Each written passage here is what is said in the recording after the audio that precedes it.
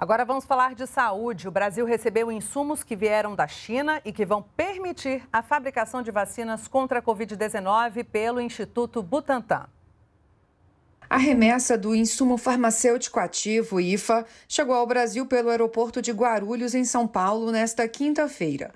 Os 8.200 litros de matéria-prima vão se transformar em 14 milhões de doses da Coronavac pelo Instituto Butantan. Já sinalizamos, tanto para a Fiocruz, quando começar a sua produção de IFA no Brasil e a produção da vacina no Brasil, totalmente no Brasil, 110 milhões de doses no segundo semestre e no Butantan já sinalizamos também uma futura aquisição de 30 milhões de doses no último trimestre do corrente ano.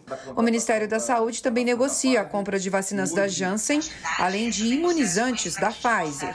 Com a Janssen, as negociações estão na fase final para a compra de 38 milhões de doses da vacina contra a Covid-19. O imunizante, que é de dose única, deve chegar entre julho e dezembro. Da Pfizer, o governo pretende comprar 100 milhões de doses, que deverão começar a chegar já em maio e ter a entrega concluída também em dezembro de 2021. Na quinta, a Anvisa se reuniu com representantes da vacina Covaxin, fabricada na Índia, para trocar informações e tirar dúvidas sobre o pedido de uso do imunizante. Em audiência no Senado Federal, o presidente da Anvisa destacou a eficiência da agência na aprovação de vacinas. Fizemos também o registro da vacina da Pfizer em 17 dias, prazo recorde também no mundo.